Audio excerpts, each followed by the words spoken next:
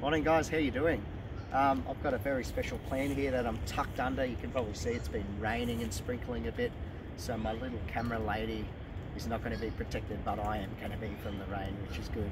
And that, but um, no, this plant that I wanted to show you is one I've known about for many, many years. It's a beautiful plant. I remember when I found my first one, it was actually just around the bend over there. And I was like, wow, I finally found this guy. And that I've been looking, I'd seen it in a few field guides, few little books way back in the day. It was years ago now, probably seven years ago. And I was super stoked and that. And then just you know, you see, see it once and you start seeing it again and again and you start getting a picture of its habitat and everything like that and then you start seeing it a lot of places. That's exactly what's happened over the years. So anyway, this plant is Bolwarra, um, Eupomatia laurina. Eupomatia laurina, Eupomatia, Eupa, Eupa Marcia. I don't know, I always get muddled up with these Latins. Call it what you will, I'll write it in the description anyway, so then no one will be as confused as my lip service here. And that, yeah, but Bolwarra, um, it's also called native guava or copper laurel are some of the common names. Um, this is a plant that's found um, in sort of wet eucalypti and stuff. We're kind of by the sea just here, so you can might hear that ocean in the background, but you kind of find it in that wet eucalypti areas where it's um, kind of a bit more dense and you're getting a bit more of that wet um, feel to the place and that. Um, not quite rainforesty or anything like that, but um, yeah, a bit more wet eucalypt. Um, so yeah, this is one of two species. There's a small bolwarra as well, and that is uh, a Bene, maybe Benedicta or something. I'm not sure, but I've only seen that one twice or so ever, and I haven't seen it for a couple of years. And that was up in Queensland, southeast Queensland, and that. But um, we do. This is one that you find in Papua New Guinea as well. This plant. Um, so anyway, let's get on with seeing it. So, I'm going to go over a couple of things here because it's a really, really special plant and I love it so much. That. But I'm, what I'm going to do here, you know, we're in winter now, just um, just at the start of July pretty much and stuff. So this is pretty crazy at its fruiting. Not everyone's fruiting though and that, but you can see here, if you take a look here, let's bend it down. Look at all these fruits here, everywhere, fruits, big fruits. You can see how big they're getting. Look at that. You'll see them and they'll get little small. These guys only flower, real beautiful cream flower, and it only does it for one day. So when that flower's gone and stuff like that, you, you hardly ever see it. I haven't seen it very much in that over all the years, but you know, this one clearly has flowered a lot and I've still missed it and I'll walk around this truck a bit and stuff. But um, these fruits are edible and stuff like that. What you want to do is Usually you'll leave these guys to fall on the ground. You've got to make sure they're really soft. This one's getting pretty soft. I have eaten them off the tree, but when they're extremely soft, um, I have heard years ago, I think one of the first things I did here is um, if you eat them when they're not um, ripe, they'll actually give you diarrhea. But we'll find out as we're looking that is also, it is an astringent, particularly with the leaves and stuff like that, and it'll help with diarrhea. And that but what's interesting, right? So I I always just assumed that the fruit was um just edible fruit. They'll have a lot of seeds in them though, really sweet and sticky.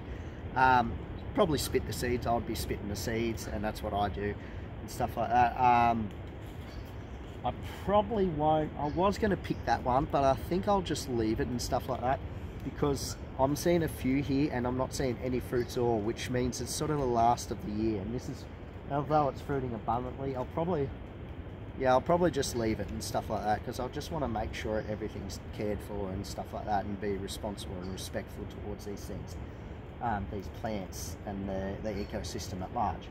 Um, but in the fruits, they actually have a multitude of antibacterial that's been found and stuff. I've been researching and scratching a few things. There was really nothing else that I was finding for ages. And then I started stumbling across a few things and I found out that they actually have a, quite a lot of broad spectrum antibacterial, uh, in some cases antifungal and stuff like that, even antimicrobial. I have um, seen a few whispers and that sort of stuff, depending on how they're extracted and how they're um, worked with and stuff like that. But um, so uh, the fruit does have that um, about it, as is also antiseptic properties. Particularly, I'll be sort of more with the leaves and stuff like that. You can get these leaves and dry them out and stuff like that. They, if it wasn't for this wet, I can still smell. They have an aromatic quality about them. And if you think about what I did find was that uh, a few years ago was that I did find like one paragraph. It said um, uh, related to it being relax, what I equated to being relaxing for the stomach. Definitely had stomach affinities.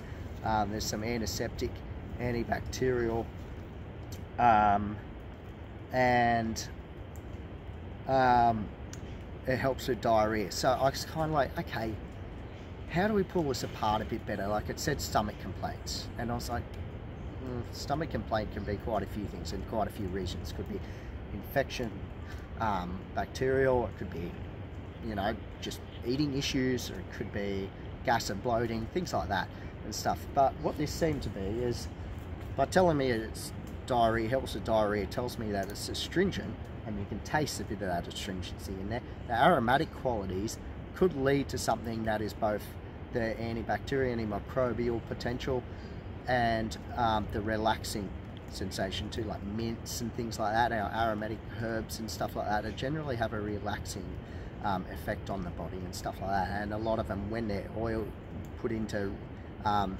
when their constituents are broken open, and that particularly like the essential oils, they obviously get highly antimicrobial, but that can be damaging to the system if taken the wrong way, and that. So, yeah, but this is showing these sort of things. So I'm kind of going, okay, it's astringent via the diarrhea probably, um, relaxant, it's settling spasm in the tummy, so wind and bloating, and it's also probably used for infection of the stomach, you know, so if you've got bacterial infections or stomach flu and stuff like that. Um, and that, that actually goes not just the leaf and the um, it it is also uh, oh what was it the fruit sorry I just wanted to say that um, it's also the, um, the stem the bark all the way down to the root so from bottom up this plant is I'd say more medicinal than it is for a food source and that eh, you know I used to look at it kind of like a fruiting berry I'd be like wow fruit cool bush food